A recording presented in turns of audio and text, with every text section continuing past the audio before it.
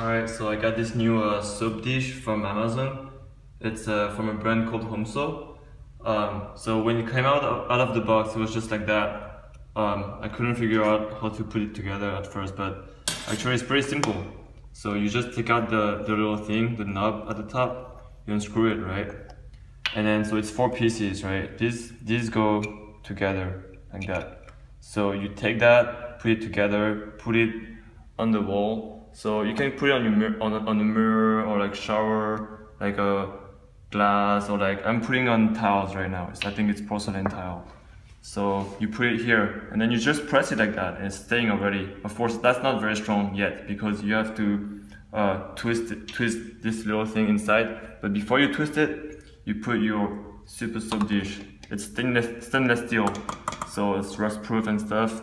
This is plastic actually, but um, yeah so you place it right at the right location you center it you know not not not not too much like that or like you, you put it right in the center like that. And then not like that also just put it straight.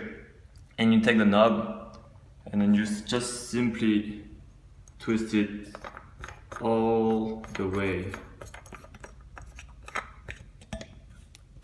until it's super tight.